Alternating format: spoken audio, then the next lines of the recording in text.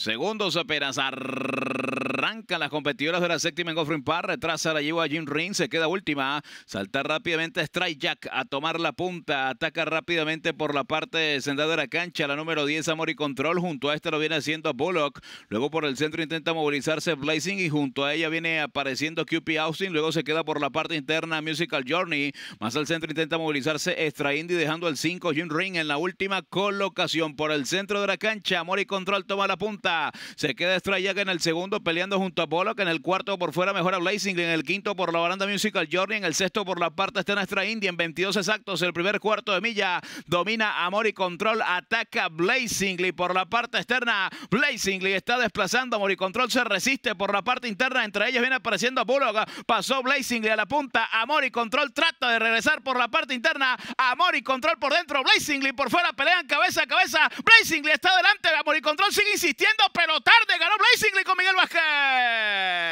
Segundo, Mori Control. Tercero, Extra Indy. Cuarto para Musical Journey.